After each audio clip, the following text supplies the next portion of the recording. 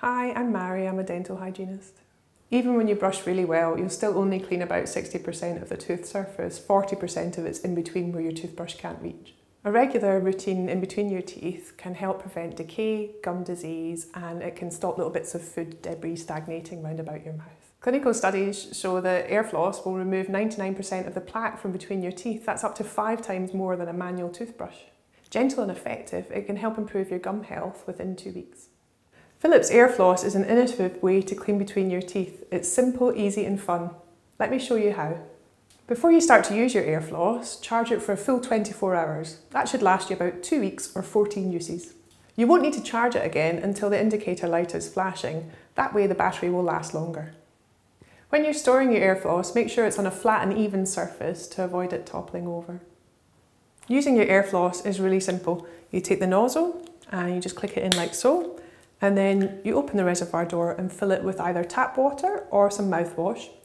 If you're going to use mouthwash, don't use an oil base because that would clog the machine. And once you've filled it, it will last about one or two uses. You don't want it more than that or the water would stagnate.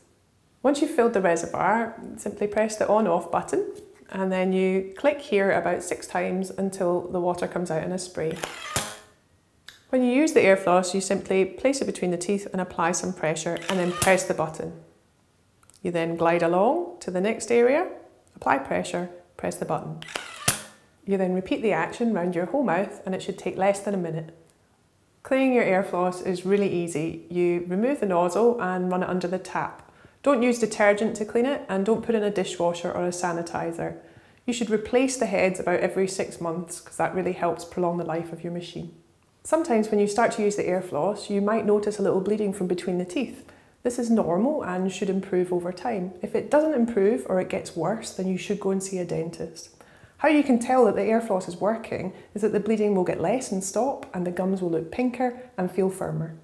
I hope you found this video helpful and you enjoy using your Philips AirFloss to help keep your mouth healthy.